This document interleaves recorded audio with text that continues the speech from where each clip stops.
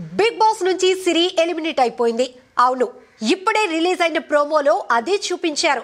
ఐదుగురిలో ఒకరు ఎలిమినేట్ కావాలి.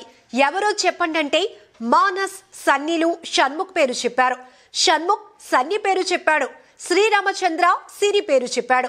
తర్వాత బిగ్ బాస్ సిరి వెళ్ళిపోవాల్సి ఉంటుందని చెప్పాడు. ఇదేం ట్విస్ట్రా బాబు అని అందరూ షాక్ అయ్యారు. జోక్ చేస్తున్నారా అంటూ అడిగి ఏడుస్తూ కూర్చుండిపోయింది సిరి. తర్వాత డోర్ తెరుచుకుంది. సిరి వెళ్ళిపోయింది. షణ్ముఖ్ కన్నీరు పెడుతూ కూర్చున్నాడు. ఈ ట్విస్ట్ ఏంటో ప్రేక్షకులకు అర్థం కావటం లేదు. ఎపిసోడ్ చూస్తే కానీ అసలు సంగతి అర్థమయ్యేలా లేదు.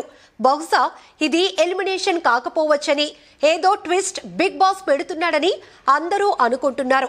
జనరల్గా ఫైనల్ డే రోజే ఎలిమినేషన్లు ఉంటాయి. టాప్ ఫైవ్ నుంచి విన్నర్ రన్నర్ అప్లను ప్రకటిస్తారు. కానీ ఇలా ముందే ఎలిమినేషన్ ఉండదు. మరి ఈ ట్విస్ట్ ఏంటో చూడాలి. సిరి ఎలిమినేషన్ సరైందేనా? మీ అభిప్రాయం కామెంట్స్లో పోస్ట్ చేయండి.